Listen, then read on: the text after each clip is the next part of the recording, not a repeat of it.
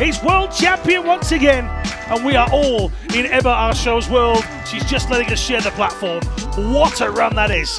And Pedersen takes it by 0.79. He wins yet another title here in Espot. Oh, that is it.